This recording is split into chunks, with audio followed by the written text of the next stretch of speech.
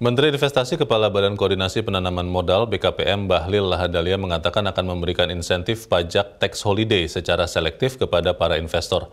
Langkah ini dilakukan sebagai salah satu cara untuk menjaga kepentingan nasional dalam menggait investor.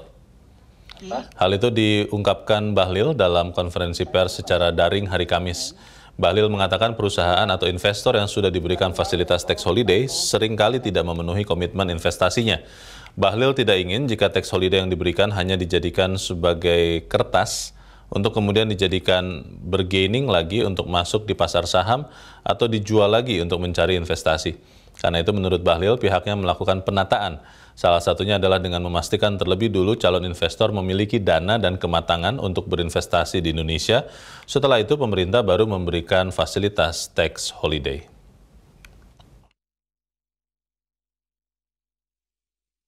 Metodologinya dulu itu kan orang hanya mengajukan, mengajukan, mengajukan, tapi tanpa mengecek keseriusannya.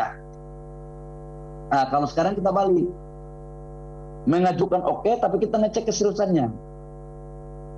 Jangan sampai tax holiday itu hanya dijadikan sebagai kertas, kemudian dijadikan bargaining lagi dan untuk masuk di pasar saham atau jual lagi itu perusahaan untuk mencari investor. Banyak gitu dan banyak gitu. Nah, sekarang kita melakukan penataan.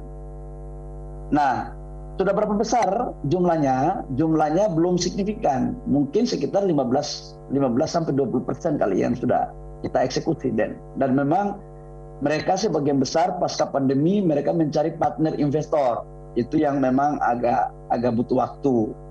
Tetapi yang melakukan pengajuan tax holiday yang sekarang eh, kita pastikan dulu dia mau financial closing baru kita kasih. Jadi betul-betul investor yang masuk itu adalah orang yang punya duit. Jangan dapat tax holiday baru